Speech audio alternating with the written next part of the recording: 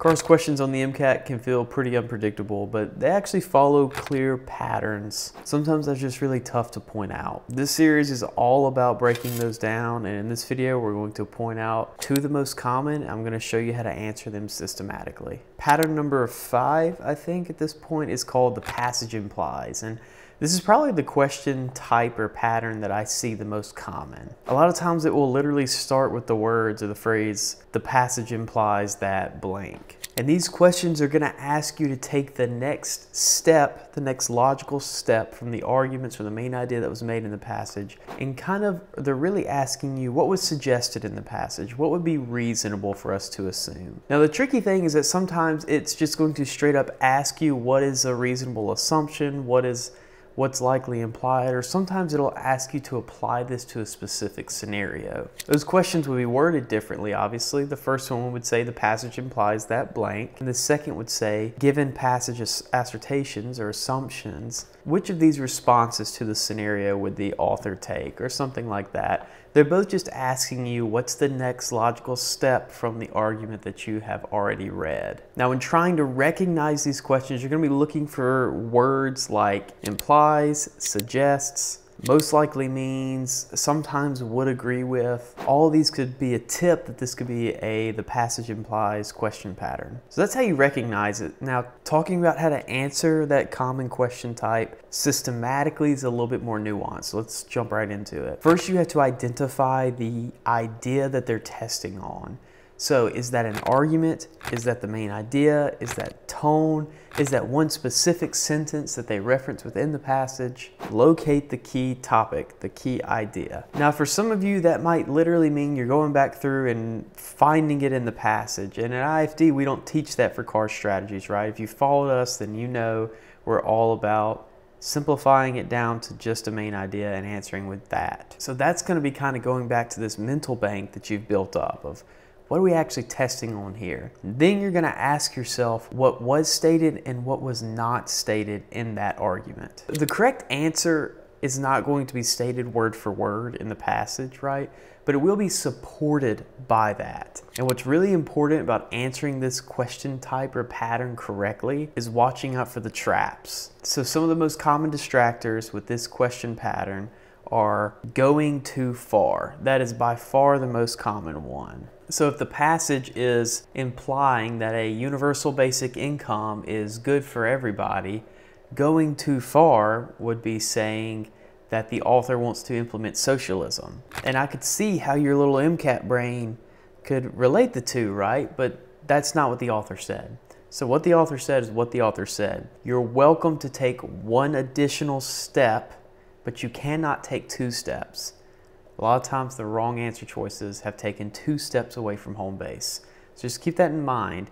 And whenever you're trying to make an assumption to answer a question right on cars, you can take one step. You have to keep a foot on home plate. Another common distractor is when answer choices, they, they seem possible, they almost seem plausible, but they just lack support. And another way to phrase that is, this would make sense to me. You know, you read an answer choice and you're like, well, this is what I would do, or I think that this makes sense. But remember, you're answering the questions from the vantage point of the author. And this is, I think this is probably so that whenever you're taking care of patients in the future, you can answer questions and you can think the way that they think because a lot of times it helps you with different diagnoses and a lot of the stuff you deal with as a doctor is like social situations and things like that. And then the last distractor, and I don't think this one's as common, but sometimes they will include a reasonable and a logical next step, but that next step is in the wrong direction, meaning it might contradict the main idea. And if that's the case, the passage is never going to imply a contradiction with the main idea, so you can cross that one out, right? So I'm going to read you an example question that I wrote, and it's going to lack some of the full depth of this exercise because you don't have a passage, but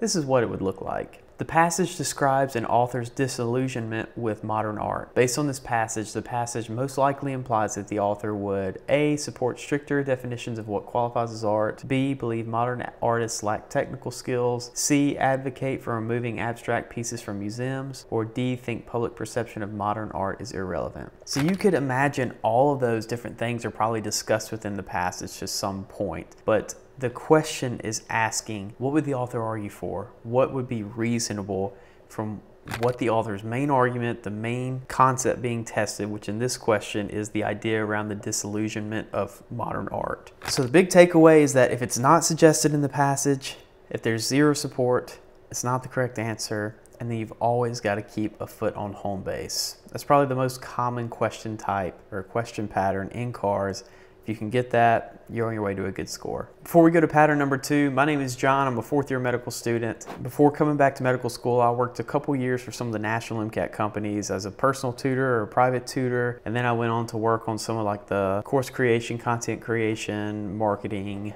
stuff that they did at the national level. I decided I wasn't very fulfilled with that. And so I ended up coming back to medical school to be a surgeon and I started this YouTube channel and the associated business with my little sister Maggie. She's a third year medical student. And we create all these free resources because we think that all of our future colleagues should have access to high quality tutoring from professional MCAT tutors. It's our hope that all you'll need is the free stuff and you'll crush the MCAT, you'll get scholarships to medical school because your MCAT score is so high and you'll move on past it. But if not, if you're like me and you realize that you needed some professional help, that you'll look at us and the links in our description as a thank you you for all the free teachings. So pattern number two, this question pattern is called determinations, conclusions. It's a work in progress. We'll call it concluded. And this is asking what can and cannot be logically concluded from the passage. So this is a little bit different from the last question blueprint where it was saying what could likely be implied because the implication is basically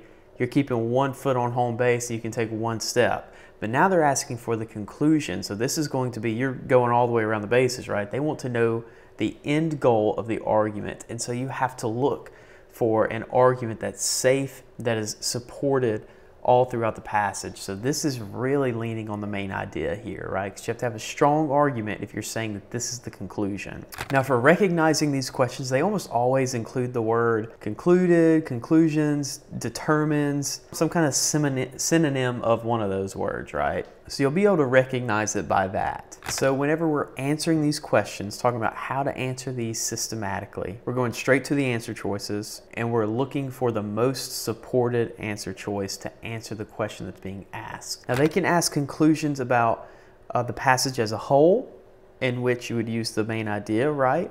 Or they could ask conclusions about a specific scenario in which you may have to use an argument or tone to answer that question. But regardless how they phrase it, you have to answer this question with dense passage support. This is not a time to kind of stray and say, well, maybe this is what they think. This is a time to say, my passage supports answer choice B. I'm going to click answer choice B. The next step in answering these systematically is you really want to avoid like possibly true answers here. It kind of builds off the first step. If you read an answer choice and you think this could be true, but it's not proven, it's not the correct answer. They're asking for a conclusion, meaning that they want concrete evidence. If you want to think about this in medical terms, it's like they're asking for the diagnosis. And if you're asking for the diagnosis, then you better have a lot of evidence to support that diagnosis before you go off and say some random disease that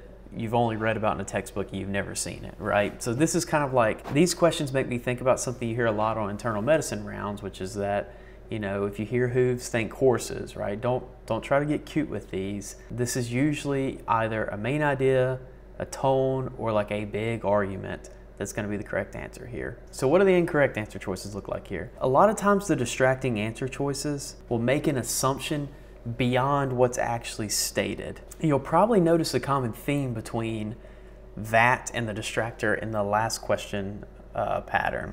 It's, that's true, they're the exact same thing. A lot of times they will make an assumption that feels reasonable to you, but that is not supported by passage evidence. Another thing that they do, it's not exclusive to this question pattern, but it's more so in this one than others, I think, is that they will twist a specific piece of passage support or evidence and make it into like an overgeneralization. So if the author is arguing that basketball is good for surgeons because it's a team sport, then an overgeneralization would be to say that all sports are good for surgeons, even like solo sports like singles tennis or bowling or something like that. That would be an overgeneralization.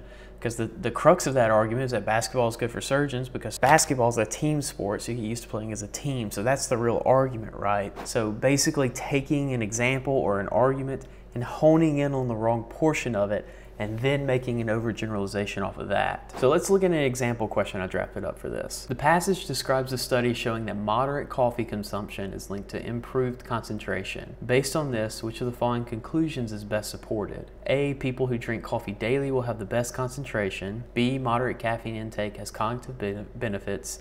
C, caffeine causes increased alertness in all people. D, drinking excessive coffee leads to concentration problems. Now, realistically, the way that you would probably see this question on your MCAT, it would just say, which of the following conclusions is best supported?